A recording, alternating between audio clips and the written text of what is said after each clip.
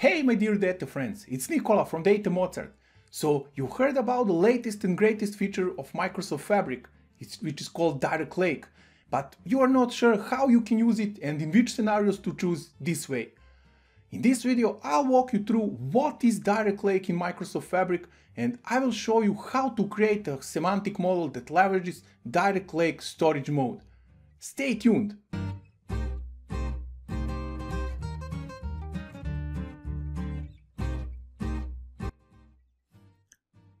Let's kick it off by examining current options when designing and implementing Power BI semantic models. And I'll start with the pre-Microsoft Fabric era, when we had two main options for handling Power BI semantic models. The most common way of dealing with Power BI implementation and the official recommended way of doing things is import mode. And this is a typical workflow when using import mode. You have a data source, let's imagine it's a SQL database, and there are some tables in that database. Then you import this data into the instance of the Analysis Services tabular, and from there, Power BI reports are sending DAX queries to populate visuals in your reports. Whenever you need fresh data in your semantic model, you need to go back to the data source and refresh the data stored in the Analysis Services instance. This approach has its greatest benefit in providing a blazing fast performance, as data is stored in RAM memory. On the flip side, the most obvious downsides are data duplication, because you are basically creating a copy of the data from the data source in Analysis Services instance for Power BI, as well as data latency, because in order to have the latest data from the source available, you need to refresh the semantic model on a regular basis. Direct query mode solves these shortcomings, namely data duplication and data latency, since no data is moved from the original data source and your users will always have the latest data available, because the data is retrieved at the query time. However, and I'm sure that all of you who use direct query mode at least once will agree that the performance is, well, significantly worse than with import mode, let's put it that way. And here is where direct lake mode enters the stage, as now a third storage mode option, trying to exploit benefits and overcome the downsides of both import and direct query modes. In a nutshell, it's a hybrid of import and direct query. There is no data duplication and data latency, since Power BI will read the data stored in the OneLake Delta files directly, but this time with the performance of the import mode, or let's say very close to the import mode, because the data is stored in the same way as in the proprietary form of, of analysis services, which is suitable for fast data retrieval. Before I show you how to create a direct lake model in Microsoft Fabric, one important thing to keep in mind. Direct Lake is not a magic wand, nor a solution for each and every scenario when working with Power BI and Fabric. Import and direct query models are still more than relevant, and you should carefully evaluate when and why it would make sense to choose Direct Lake over import mode. Let's now dive deeper into the Direct Lake mode in Microsoft Fabric, and we'll start by examining prerequisites for Direct Lake mode to work. First and most important, you can use Direct Lake only with Fabric capacities, which are marked as F capacities, and Power BI Premium capacities, which we know as P capacities. This means that if you are currently operating on the Power BI shared capacity or Premium per user license, you won't be able to use Direct Lake storage mode.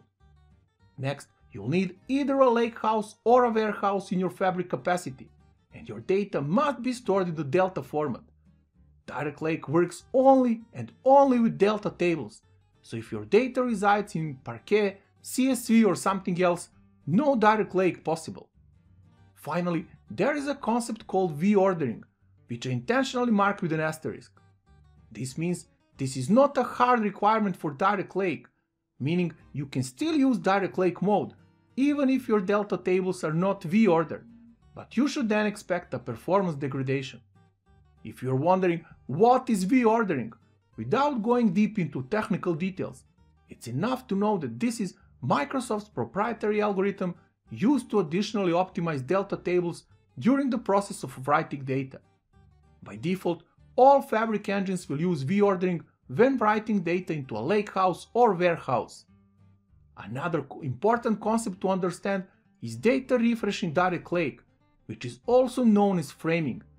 This is the process of keeping the semantic model in sync with the latest version of the Delta table. Here, you may see all the files currently framed in the context of the semantic model. Once the new files en file enters the OneLake, here is what should happen in order to have the latest file version included in the semantic model. The semantic model must be reframed to include the latest data. This process has multiple implications that you should be aware of. First and most important, whenever framing occurs, all the data currently stored in the memory, and we are talking about cache memory, is dumped out from the cache. Next, there is no real data refresh happening with framing. Unlike with import mode, where kicking off the refresh process will literally put the snapshot of the physical data in the semantic model. Framing refresh is metadata only. So data stays in the delta table in OneLake and no data is loaded in the direct lake semantic model. We are only telling our semantic model, hey, there is a new file down there in OneLake, go and take it from here once you need the data for the report. This is one of the key differences between the direct lake and import mode. Since the direct lake refresh is just a metadata refresh, it's usually a low intensive operation that shouldn't consume too much time and resources. Even if you have a billion row table, don't forget you are not refreshing billion rows in your semantic model. You refresh only the information about that giant table. Here is a brief overview of the key concepts relevant to direct lake semantic models.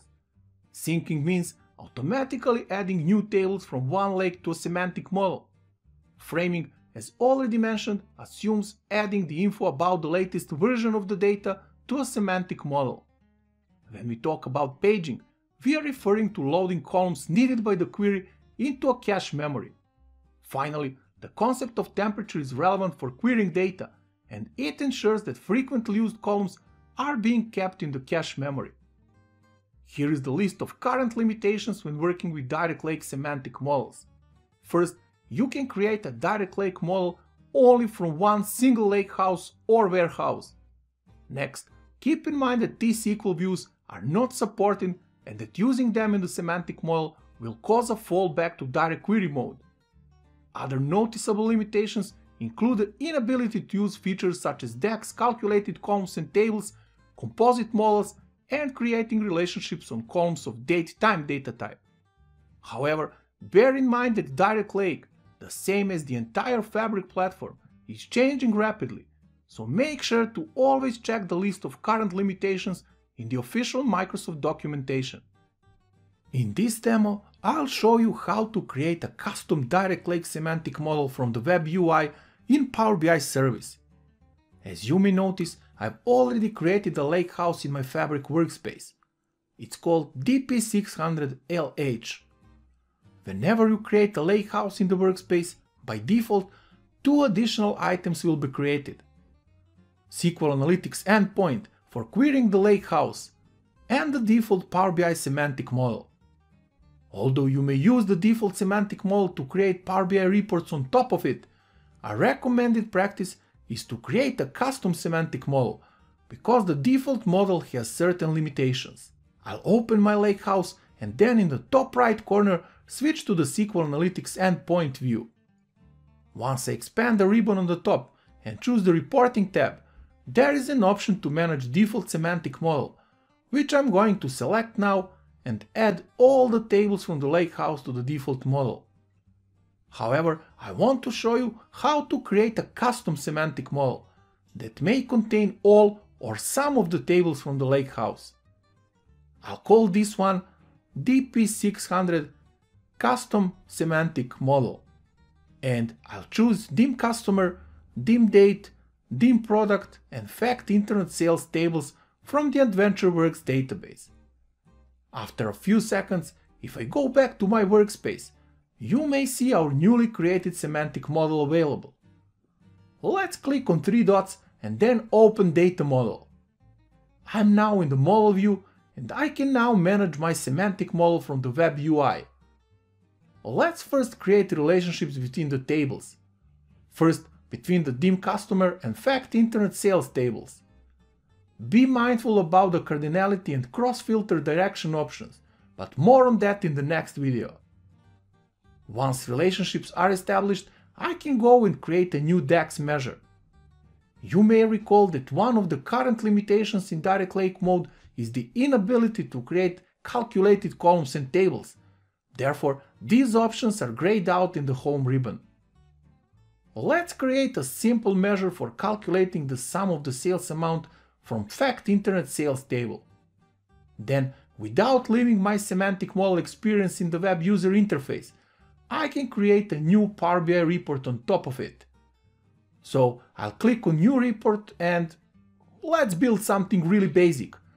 I'll drag a table visual on the report canvas and put a color column from the dim product table. Let's add our sales amount measure as well. And another visual where I'll display the total sales amount per gender of my customers. Once done, I'll save my report. Click on save in the top right corner and let's call this report DP600 Custom Report Direct Lake. Let's go back to our workspace and here is the report we've just created, ready for our users to consume the data from it. That's all folks. If you enjoyed this video, make sure to click this like button down below. Also, if you want to stay up to date with latest Microsoft Fabric and Power BI features, make sure to subscribe to Data Mozart YouTube channel. See you soon!